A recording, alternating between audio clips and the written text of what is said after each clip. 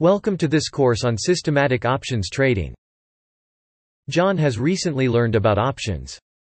He realized that he can make unlimited profits by trading options. So based on his newly acquired knowledge, John starts trading. He hopes of making huge profits and retiring at some cool place. John believes that the S&P 500 index, which is currently at 4,000, will rise over the next few days. Hence, he decides to buy a deep out-of-the-money call option that has a strike price of 6,000. John believes that the index will rise to this level and he will earn a huge profit. But this does not happen and the option expires worthless.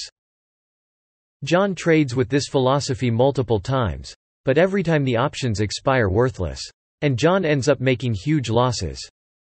Discouraged by the losses, John decides to learn more about trading options. John learns that there are popular options trading strategies to capitalize on your views about the market. For example, if you want to trade on volatility, you can go with the straddle or butterfly strategy. If you think that the markets will go up, then you can go with the bull call spread. And if you think that the markets will go down, then you can go with the bear put spread. Since John has a bullish view of the index, he understands that he should set up the bull call spread on S&P 500 options. But this time, the market goes against him.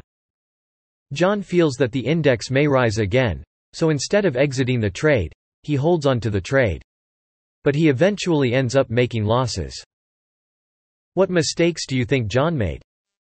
John did not have trading rules in place, and often entered the trades based on his gut feeling.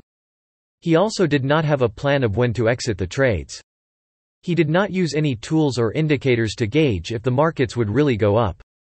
Moreover, he was not clear about the steps he must take if his strategy did not work out as planned. John could have easily overcome these challenges if he had used a systematic approach to options trading.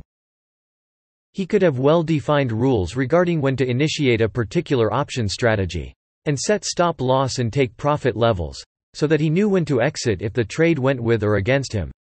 But having well-defined rules is just having the job half done.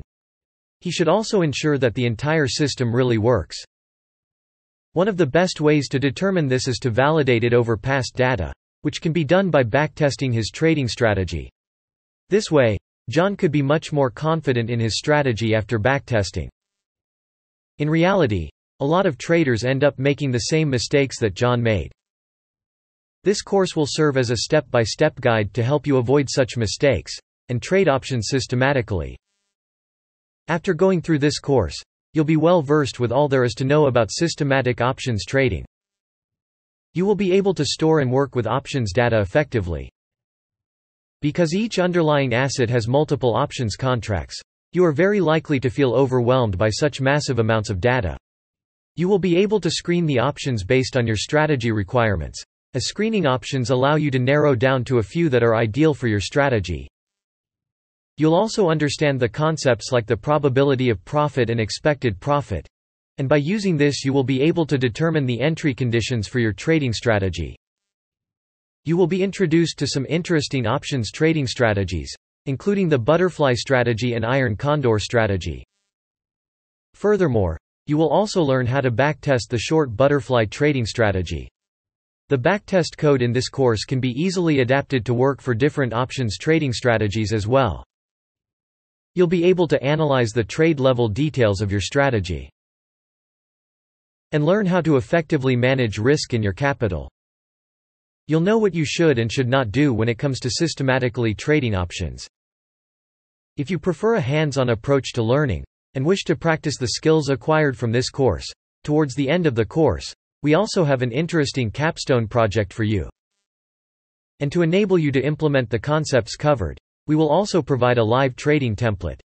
You can use this template to paper trade with real-time market data. If you are satisfied with the results, you can move further with live trading your strategy.